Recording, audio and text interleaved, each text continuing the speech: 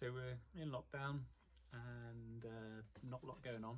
So I thought I'd do a couple of reviews of the bows that I have. Um, they won't be as awesome as some of the ones that you see. Uh, you are the great, and uh, yeah, it won't be anything like that. Uh, I'm nowhere near the archer, and also I don't have the technical knowledge either. But um, I'm just a box standard, middle of the range archer who loves shooting. Uh, so here we go. The Scythian bow. It is a black mamba. It's uh, 36 pounds uh, at 28 inches. It's a good looking bow. Uh, I, I, like the shape. I've had it for uh, a few months now and obviously I have plenty of time to shoot it out here in the back garden. Um, it looks very nice when you first get it. Um, one thing that I did notice, is you can see just at the top, I don't know if you can see that, uh, I thought that that was coming away, but whether or not it's just where it was filed down, uh, I'm not entirely sure. So uh, I'm just keeping an eye on that to stick a little bit of glue on it just in case. Uh, but there we go. So I've got a little bit of leather just holding the, uh, the bow up. Uh, I'll string it up. we can have a look at it. its shape. Now obviously I string bows slightly different way because I'm in a wheelchair.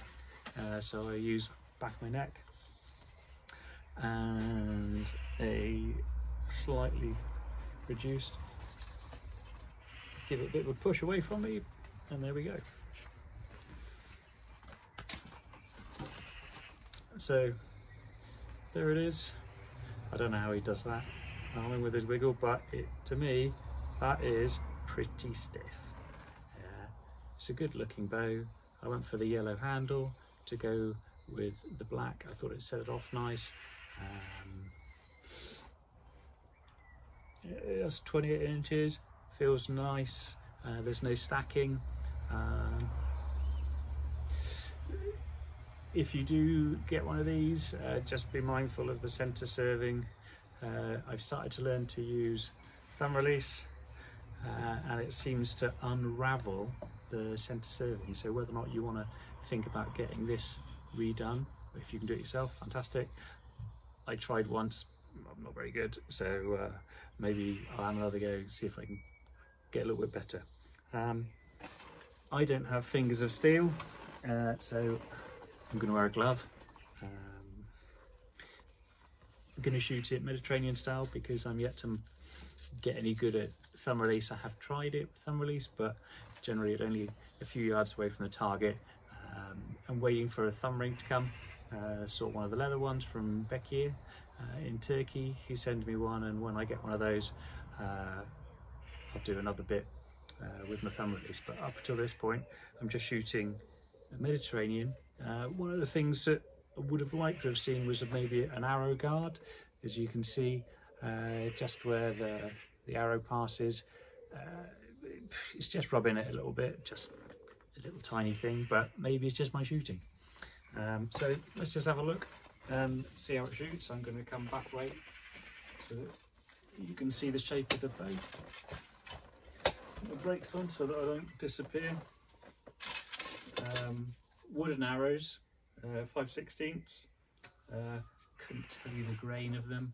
Uh, I get them matched for the arrow. I went down to Carol Archery, uh, Carol Edwards. She uh, watched me shoot with this and matched the arrows to it. And I'm, you know, I'm grateful to her that she does that. Pulls nice.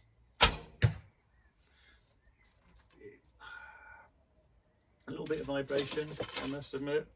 I don't know if it would be better having string silencers on. I've never ever used them. But it certainly sends them down there at a good pace. I've got fairly long fletchings on, I've got four inches.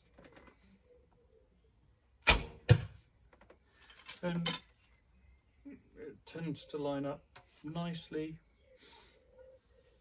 You know, I've been shooting this a while and I've really enjoyed it. It certainly, uh, it, it's become my go-to bow really. Uh, something at the end of the day, like now, where sun's setting, we've got the birds tweeting away. Just come out here, peace and quiet, shoot the bow, and it's very relaxing. Uh, try and clear the mind of all the worries, and you know, at the moment with lockdown, it is pretty stressful. Everyone's everyone's feeling it, so why not find a way to relax, get yourself a little bit centered, and certainly for me, archery is one of those. So this is what I enjoy and I would recommend this bow. Uh, I have others, uh, but this is the one that I enjoy shooting at the end of the day it's nice and quiet. I just want to be nice and calm. Uh, hope you enjoy. Enjoy your shooting and stay safe.